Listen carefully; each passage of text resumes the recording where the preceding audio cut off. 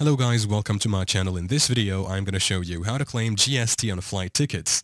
It is a fast and easy tutorial, so let's dive into it. You can either decide to use your PC or your phone to do this. For me, I will use my phone. On your phone, you can just use the Make My Trips app if at all you have it downloaded. Now just choose your favorite browser and click on it to open. Once in, search for Make My Trips then enter to open it. You will be brought to these sites. Tap on this link here to open it. You will now be brought in here where you can book your flights and even see your already booked flights. You can also book hotels, train, rent a car, and many more options. So we just need to book a flight by tapping on flights here. Just fill in your details correctly on where you would like to fly to in here. Once done, click on search for flights. All these jets will be displayed. Go ahead and find one which is best for you. I will click on this one here. You will now see the prices here. You need to scroll down while filling in any other details. Down here we have an option written I have GST number. Turn it on.